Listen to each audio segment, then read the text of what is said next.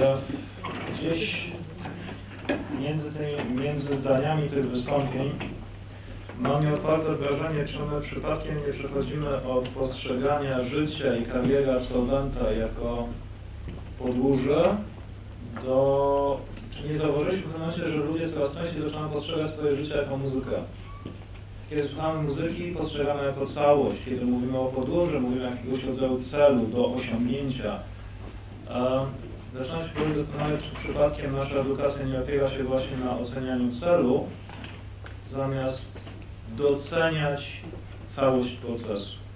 Myślę, że jest to jedno z ważniejszych pytań, jakie zresztą chciałbym zadać naszym prelegentom. Natomiast oczywiście teraz przekazuję głos sali i otwieram krótko, ale jednak 15-minutową, mam 15 minut na dyskusję, także słucham pytań sali. Będę wdzięczny, jak będziemy przekazywać Państwu mikrofon, żeby to wszystko nagrywać.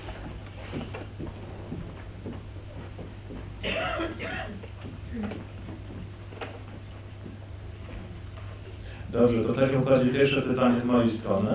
A właściwie do wszystkich prelegentów. Posługujemy się pojęciami pokolenie X, Y, Z. E, w międzyczasie pojawia się pojęcie prekariatu, gdzieś tam w międzyczasie pojawia się pojęcie także pokolenia C, czyli connected.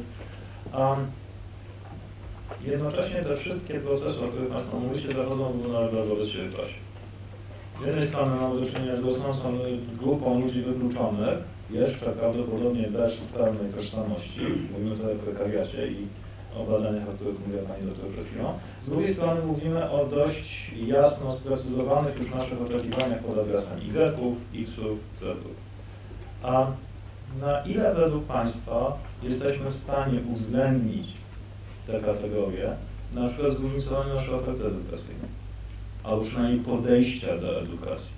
Bo nie tutaj możemy myśleć o ofercie, czy raczej o jej realizacji na różnych poziomach, e, w różnych wymiarach pokoleniowych, o których, o których tutaj mówimy.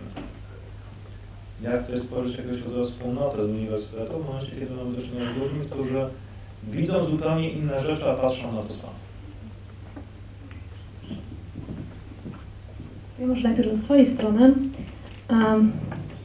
Ja mam chyba dwie perspektywy takiego tym myślę. Że pierwsza perspektywa jest taka, że są pewne uniwersalne, niezależne od pokolenia rzeczy, które też pojawiły się w pierwszym wykładzie otwierającym. Takie mm, społecznościowe, czy takie, których po prostu gdzieś tam możemy uczyć i na które możemy zwrócić większą uwagę. E, I to pewnie jest niezależne od pokoleń, natomiast druga rzecz, jaka wydaje mi się być bardzo istotna, to zwrócenie uwagi na takie, taką mm, nauczenie tych młodych ludzi tego, żeby potrafili w jakiś krytyczny sposób analizować rzeczywistość. I myślę, że to też jest niezależne od pokolenia, czyli rzeczywiście wykorzystanie ich potencjału, ale patrzenie, nauczenie ich w jaki sposób tą wiedzę, którą gdzieś tam mogą wyszukać samodzielnie, filtrować i trochę nadawać wagę tej wiedzy. A druga rzecz to rzeczywiście też e, wyłonienie z tego, co, co gdzieś tam uczymy, czego tam uczymy, nie tylko tego, co jest taką wiedzą stricte encyklopedyczną, czy taką związaną z kierunkiem studiów, ale trochę wyjście z takiej, to gdzieś tam usłyszałam w internecie, chyba na jakimś TEDzie, z takiego średniowiecza psychologicznego, bo często jest też tak, że jeżeli chodzi o te kompetencje miękkie, czy takie umiejętności miękkie, to gdzieś tam dalej tkwimy w jakichś takich katakumbach po prostu po, w, w, w, w średniowieczu i, i nie do końca uczymy ludzi tego, w jaki sposób się zachowywać. Czyli przychodzą ludzie, którzy coś wiedzą, wiedzą czasami o wiele więcej od nas, jeżeli chodzi na przykład o zarządzanie czy nowoczesne technologie, Natomiast trudno jest im współpracować z nami, ponieważ gdzieś tam nie mają tych kompetencji takich stricte społecznych, czy no, tak kolokwialnie nazywanych miękkimi. Czyli może to też jest jakiś taki element, o który można byłoby zadbać wtedy, kiedy te osoby gdzieś tam do świata wychodzą, bo myślę, że to byłoby z korzyścią dla społeczeństwa, uczelni, ale pewnie też biznesu.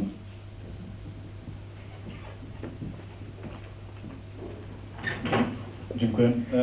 Ja chciałem tylko trochę inny wątek jeszcze jakby poruszyć. To z mojej perspektywy mm, dużo dało mi do myślenia, jak kilka lat temu spotkałem e, moją studentkę, która powiedziała mi, że po studiach licencjackich zrobiła jeszcze trzy studia podyplomowe, które pogłębiły jej wiedzę. I, jak się Państwo zastanowicie, my żyjemy też w takim przeświadczeniu, że studia magisterskie są konieczne, ale wyrasta bardzo poważna konkurencja do studiów magisterskich, bo młodzi ludzie bardzo często widzą, że magist magisterium nie przekłada się na wzrost dochodów, jak się popatrzy na badania w Stanach, to w ogóle BA, to jest, czyli Bachelor of Arts, czyli licencja, odpowiednik naszego licencjatu, daje jakiś, e, jest przełożeniem na wyższe zarobki, ale na przykład MA, czyli tam wyższy stopień magisterski już, już nie. I moim zdaniem e, jesteśmy po tym boomie edukacyjnym, gdzie wszyscy uczyli się w różnych uczelniach, na uczelniach prywatnych, publicznych, różnych ogólnych bardziej lub mniej przedmiotów, e, będziemy stopniowo chyba przechodzili w taką fazę, że młodzi ludzie bardzo uważnie zaczną śledzić to, e, czego mają się uczyć. Teraz widzimy, że te kierunki techniczne zaczynają święcić triumfy, ale jak z drugiej strony popatrzymy na to, jak szybko się zmienia ta, ta, ten obszar wiedzy, e, wydaje mi się, że MOOCi wsparte e, studiami podyplomowymi to jest jakiś model, na razie pewnie odległy, nie wiem, 10, 15, 20 lat, ale taki, który jest i ekonomicznie uzasadniony i daje większą rentę, jeżeli się w tą drugą podąży, niż kolekcjonowanie sześciu dyplomów, bo jeszcze moje pokolenie studiowało 4 i 5 kierunków, co jest idiotyzmem teraz, bo to nic nie ma żadnego przełożenia, bo pracodawca mnie pyta, a ile praktyk zrobiłeś, albo gdzie pracowałeś, a ja mówię, no fajnie, bo ja tu mam 6 dyplomów, a on mówi, no bardzo fajnie, ale, ale trzeba właśnie, gdzie życia poznałem zawodowego, gdzie życie zawodowe poznałem. Ponawiam pytanie do publiczności. Przepraszam, przepraszam. Ja, jestem też statystykiem i moim zdaniem e, ekonometrykiem w ogóle. Z, i, I ja się troszkę tak naprawdę e, skłaniam do tego, żeby poznać te badania, bo coś mi nie gra. To znaczy statystycznie i tak dalej. Mi się wydaje, że nie, na, nie mamy do czynienia z jakąś jednym pokoleniem, które nazwiemy Z, po prostu mamy różne proporcje i te, w tych, w, ja mam dużo X-ów na, na studiach. Dlatego, że to są mat, e, bardzo matematyczni ludzie i mam z nimi inne kłopoty kompletnie, bo oni są trochę autystyczni i tam internet dla nich nie istnieje. I dla nich istnieje twarda matematyka. Więc ja mam X-ów, mam Y-ów i mam Z-ów już. Więc jest coś takiego, e, będziemy mieli do czynienia z mieszanką. Moim zdaniem to trzeba po prostu trochę jak na e, wybór, uczyć ich wyboru. To znaczy życie daje nam bardzo dużo możliwości, i każdy z nich może wybrać to, to w cyfrowym świecie to, co jest dla nich ważne, e, dobre i tak dalej. I e, ten, tylko ten wybór musi być świadomy. Tu jest kłopot, że musimy uczyć ich świadomości. Stare takie podejście z Elicha Froma, z, z, z, które, które pokazuje praca, świadomość daje nam człowieczeństwo. I, do, i, i reszta jest jakby, jakby dostosowaniem do, do, do tego. Y, Oni mogą bardzo szybko nadrobić pewne problemy związane z nie, nie do końca odpowiednim wykształceniem, ale jeżeli im, im nie, jakby ich nie ukształtujemy jako ludzi, to po prostu mamy porażkę. Porażkę polegającą na tym, że oni są nie, niezdolni do kreatywnego życia i tu jest problem. Więc tu nie ma jednego rozwiązania, tu trzeba indywidualnie tw- i w gruncie rzeczy daje nam możli- y, możliwość poznania tych ludzi właśnie w świat cyfrowy, tylko że my jeszcze nie potrafimy tego robić. Czyli indywidualność, nakierowanie na indywidualne potrzeby i indywidualny rozwój. Mam nadzieję, że nie zrobi za, no, za nas tego sztuczna inteligencja, bo już są takie pomysły, że, że za kilka lat po prostu będzie będzie sztuczna inteligencja, która dostosuje, znając nasze biofizyczne parametry, y, proces nauczania i będziemy zbędni. No, ale mam nadzieję, że to, do tego nigdy nie dojdzie. Ja bym powiedziała, że może nie tyle indywidualność, co też e, odczytywanie własnych potrzeb, e, bo jeżeli chodzi o prekariat, to tutaj e, nie możemy mówić o żadnym pokoleniu prekariatu. Próbowałam to sprawdzić i przetestować. Nie możemy też mówić o klasie, tak jak postawił sobie tezę Gay Standing, ale przede wszystkim już teraz myślę, że można powiedzieć, że tą zbiorowość, e, którą mam do badań, czyli 18 do e, 18, od 18 roku do 30, można by było podzielić na dwa, dwie kategorie wiekowe, na przykład do 24 roku i później. E, To już sprawia, że są zróżnicowani. E, ale też można by było wyróżnić różne typy, bo jest typ pro- projektariacki, czyli pracownicy kultury, akademii, NGO-sów, e, jest typ, nie wiem, sprekaryzowanych studentów, którzy próbują sobie radzić na rynku pracy. Jest typ freelancerski, który bardzo dobrze odnajduje się właśnie w tym sprekaryzowanym świecie. E, Dlatego wydaje mi się, że można by było powiedzieć, że prekariat wskazuje na zmiany dotyczące podejścia do pracy, że no to, jest, to jest takim wspólnym mianownikiem. No, Dziękuję.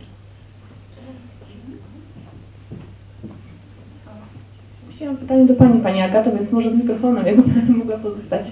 E, Nie wiem, czy dobrze zrozumiałam e, jedną część Pani wystąpienia dotyczącą mm, tego, że ym, praca jest, i rozumiem, to było przesłanie, w jakiś sposób w dalszym ciągu wyznacznikiem jakiegoś statusu.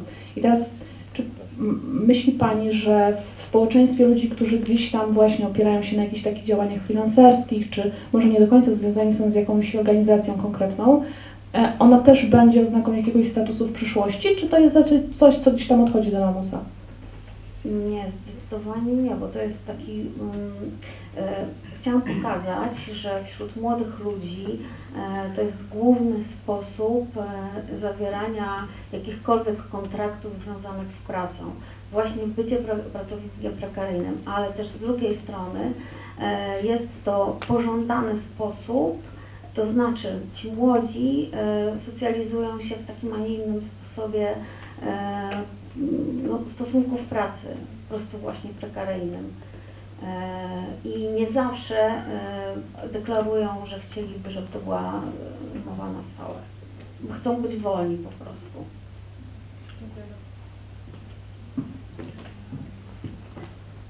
Pytania z sali? Stanisławska Miszko, Uniwersytet Ekonomiczny w Krakowie. Ja chciałam zadać właściwie retoryczne pytanie. Co my zrobiliśmy z uniwersytetem? Mamy mury, przykręcane krzesełka, mozolnie uczymy się technologii. Co nam średnio x wychodzi? Po co to wszystko?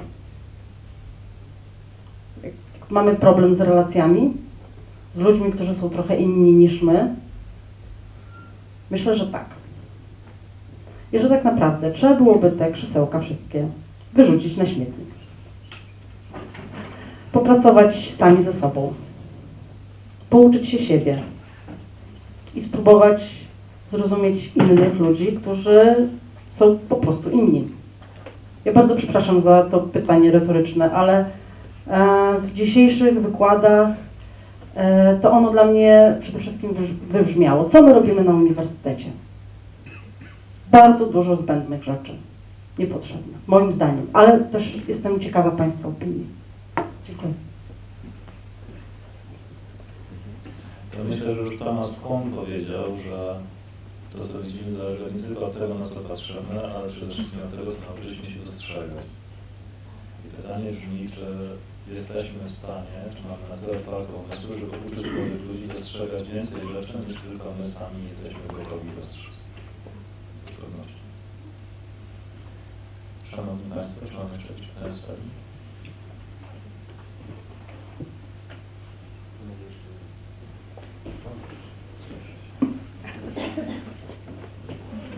Dobry, Marcin Strzelec, e, Centralny Ośrodek Szkolenia Służby Więziennej. E, Drodzy Państwo, pierwsze pytanie a propos tych pokoleń jest moje następujące, znaczy my imigrujemy, przynajmniej ja, e, mamy już pokolenia, które żyją z internetem, a ja się czasem zastanawiam, co by było, jakby ten internet zniknął nagle. Stąd jest moje pytanie, czy Państwo znacie badania, jak te najnowsze pokolenia zachowały się w sytuacji, gdyby one musiały wyemigrować w przeszłość. Czy ktoś coś wie na ten temat?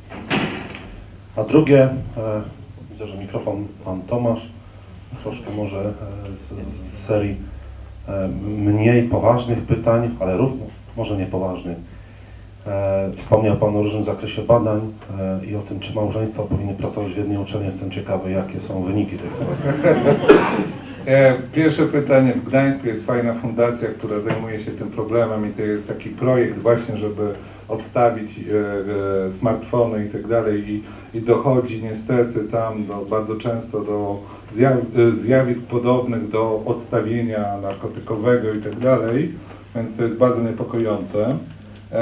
Z, jeżeli chodzi o no, moje podejście, ja uczyłem wtedy analizy portfelowej.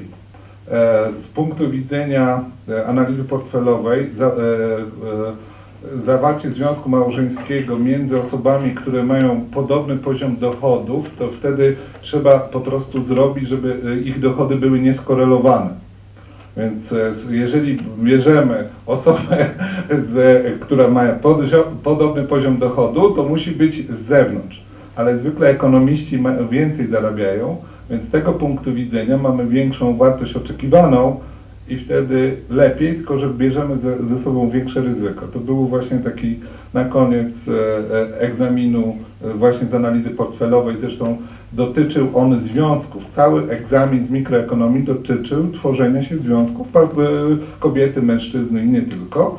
Z, właśnie jak to widzi mikroekonomia. I to było trochę prześmiewcze. To znaczy to pokazało na ile ten imperializm mikroekonomiczny może jakby włożyć nasze zachowania do bardzo konkretnego modelu matematycznego. E, W każdym razie e, jedna była z super odpowiedzi, e, dostał dodatkowe punkty ktoś ode mnie na zasadzie ja jestem z Politechniki i pojawiłem się tutaj, żeby znaleźć żonę. Więc są różne, różne, ale proszę Państwa, straszne jest to, jak mikroekonomia traktuje ludzi. Mogę kiedyś długo o tym poga- e, mówić, ale Jako ktoś, kto wykładał w TUGG, podzielam, podzielam. Um, proszę Państwa, e, jesteśmy troszeczkę po czasie, ale może jeszcze ostatnie pytanie z publiczności.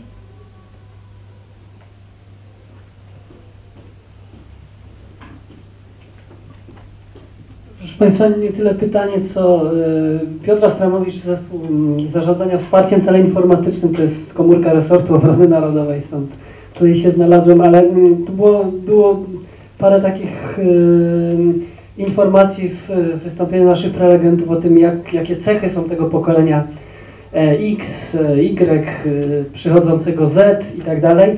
Natomiast ja zauważyłem jedną rzecz, bo właściwie ja z, już miałem tą to szczęście, że, że mój syn właściwie e, w tym momencie 20, 21 lat, powiedzmy, to jest pokolenie, e, pokolenie e, Y, tak? Tak by to można powiedzieć klasyczne, według tego schematu. No i e, zauważyłem taką rzecz, że, że e, tu też jest taka, taki odnośnik do ekonomii, prawda? Wszyscy ma, pytają, czy mam konto na Facebooku. Jestem jednym pewnie z nielicznych w ogóle osób, nie wiem, które tego konta celowo nie zakładają.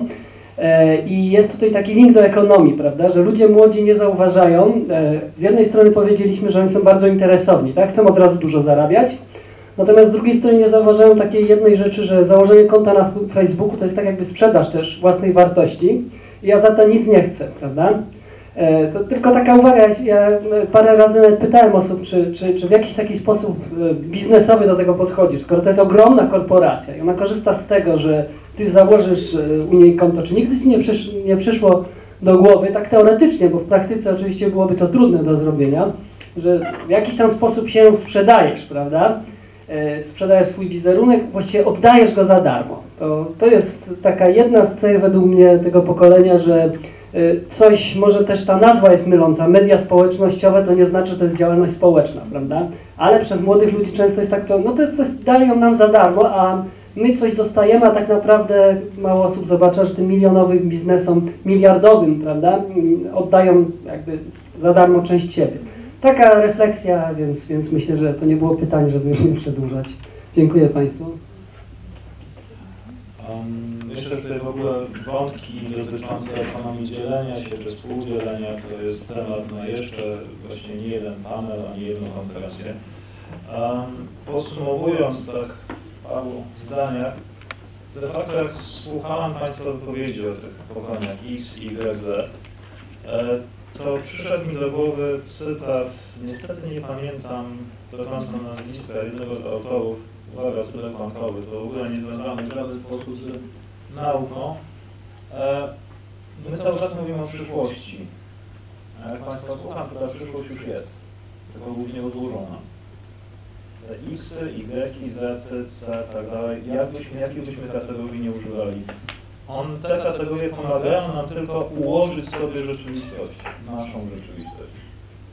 Pytanie tylko brzmi, czy jesteśmy w stanie zrobić krok dalej i aktywnie, kreatywnie do tego podejść. Bo jeżeli my chcemy uczyć kreatywności, to musimy kreatywnie odpowiedzieć na ten problem. No i tutaj się pojawia pytanie pani doktor, czy tak naprawdę uniwersytet, czy akademia, instytucja akademii bierze na siebie odpowiedzialność za udzielanie tego pytania. Mam nadzieję, że tym pytaniem możemy się teraz udać na zasłużony lunch. Bardzo Państwu dziękuję.